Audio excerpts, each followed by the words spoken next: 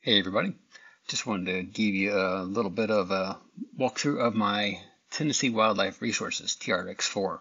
It started out as a Defender, and before I get started, one of the quickest ways if you want to just change the look of your stock vehicle is the wheels. So here, you know, bone stock, got those.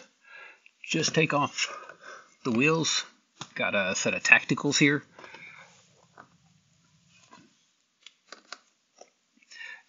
Just something that simple can can completely change the look of it. If you don't like that, pop those guys off. Got some, they say method on them, uh, more of a government issue look to them. Mm, I think I can. There we go. And you go there. Um, could even go, got the stock uh, TRX4 Blazers here if you wanted to you know go with that. I painted them flat black just because i did not like the gray that they came on. There's that. Pop that one on there. That kind of just gives you the the different looks that you can get just by changing the wheels and tires alone.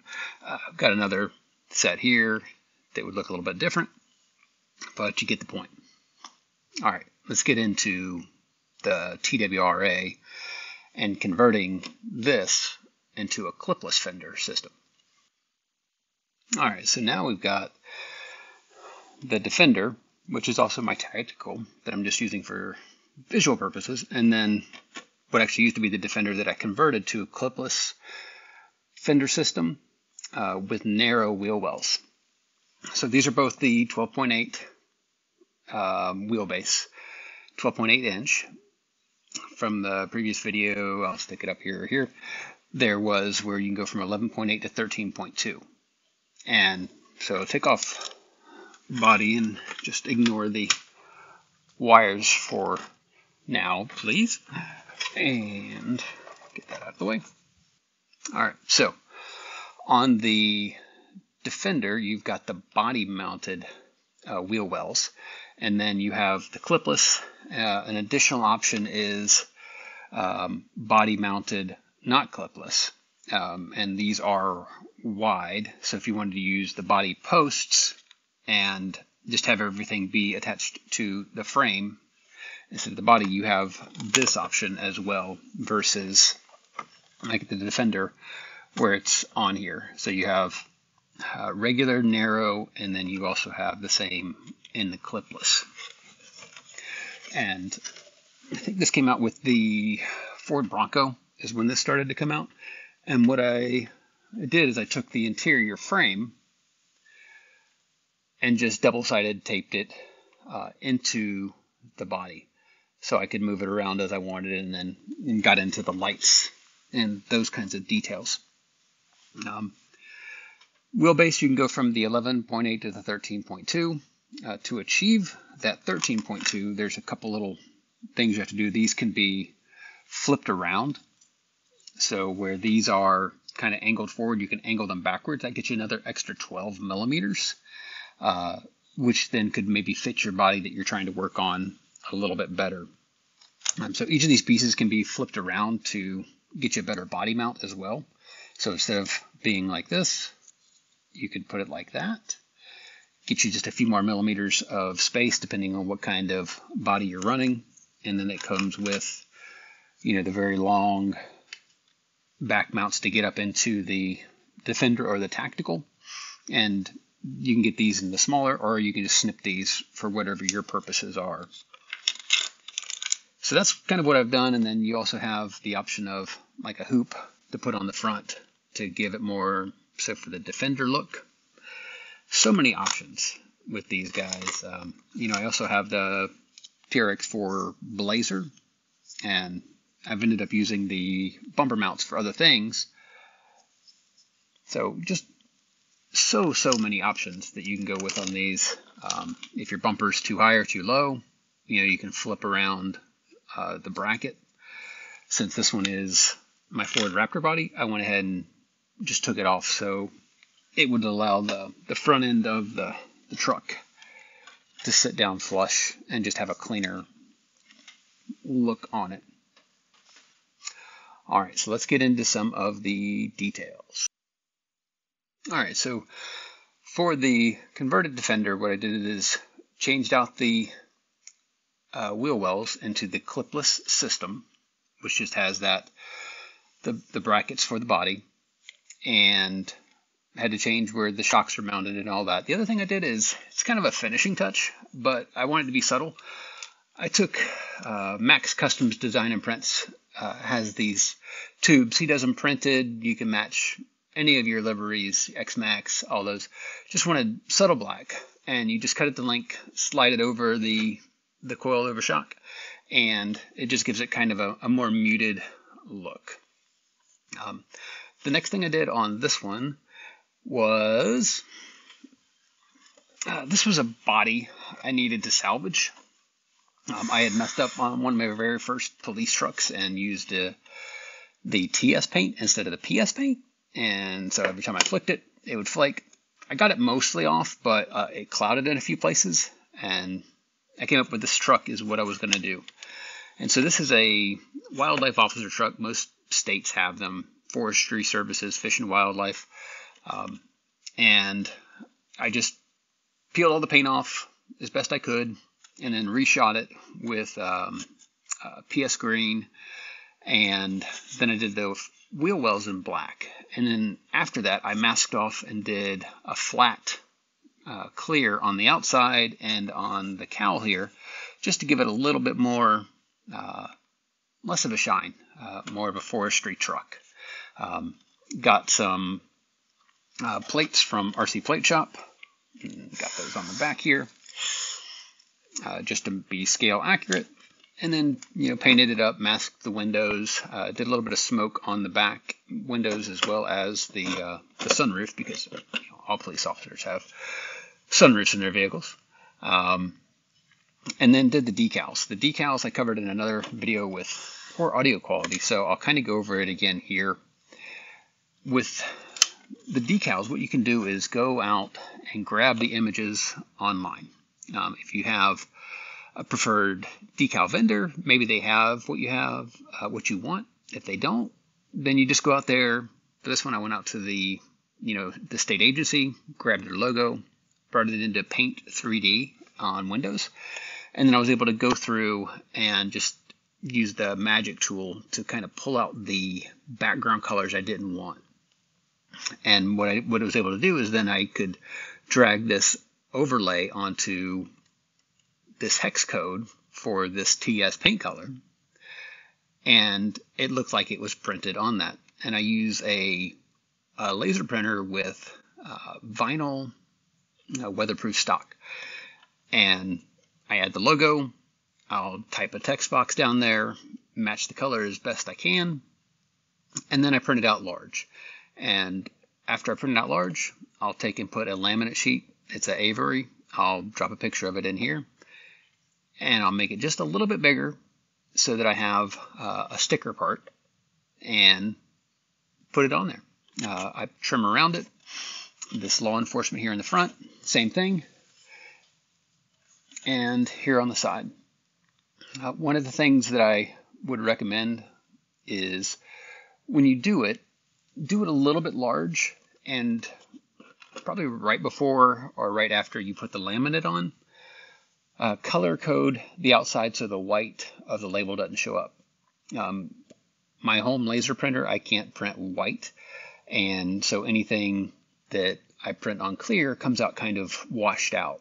It just doesn't have the white base to, in order to build up the colors and make everything pop. So I print on white, but that leaves a little bit of an edge around the side that's white. And so like on my State Trooper, I just did it black. On this, just did it green, like one of my kids' uh, Crayola markers, not even anything special. One of the things that I also did on this truck was uh, these mirrors. These mirrors fit the Slash uh, Ford Raptor. Approximate right size. So I just I just bought them, just a normal hard plastic, and then I have a like a pen drill with a bunch of these little bits. And I kind of eyeballed it to see where I might be able to get a bulb. Peeled off the faux mirror sticker and just kind of lined it up and drilled drilled a hole right down into here and then drilled in this side, fed a wire through with the light, which I then was able to mount up here on the inside and run to my tangle of mess on both sides. So whenever I turn on the police lights, these light up as well. Um, on this one, I also stuck just a, a funny little red and white one right here in the middle because I can.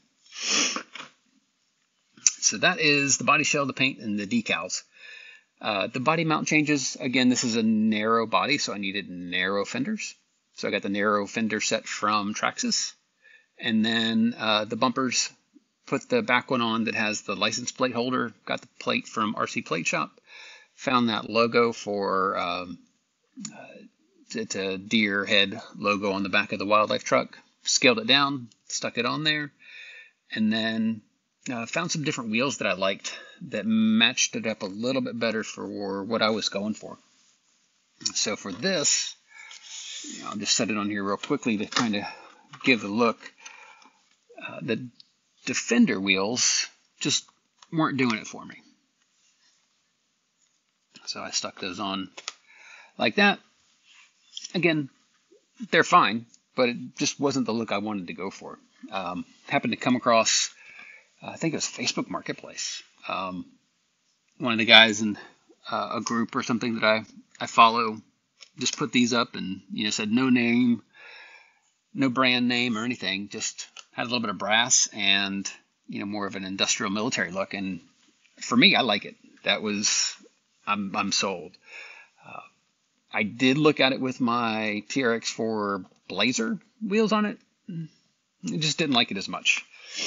So again, something so simple as wheels can completely change the look of your build. So uh, if you have some, hang on to them. If not, go to a swap meet, check them out. Uh, one of the last things that I would also suggest is uh, these little caps. So once you put uh, the lock nut on there, you can, you know, screw these on, and it just finishes off the look of your build just a little bit more uh, detail. That one's not going to go on, but you get the point. Uh, the uh, the other thing I did on this truck was I uh, moved up the rock sliders, and the the body was sitting a little high just due to the way the fenders are designed. And what I did is I just took out these two screws and added a, a spacer in there. I believe it was the ball adjustment for my e-Revo, just an extra piece. And went to my hardware store, found the right millimeter screw, just got one a few millimeters longer, stuck it in there, and now it sits up high and looks right for this truck. All right, be right back. All right, so while I'm up, let's give you a closer look at the back and uh, the deer decal, and then the rock sliders and how those uh, can move and how they're pretty much flush with the bottom of the truck at that point. Did put a Hobbywing QuicRun fusion in here, and then got my preferred people products. Uh, what else did I do? And there's just the narrow fenders, and you can see where I added lights just drilled uh, right in, used black shoe goo once I got them in place, and then routed the wires up, and they'll plug into the side of the truck whenever I I go. a little bit closer look at those mirrors and how I did those, and that one, and then just how I this side's a little bit better to see. Just how I feed it straight in through the body and into my, my light controller um, against my Trick RC UF7C. And the, the light buckets here, they're covered up in black tape.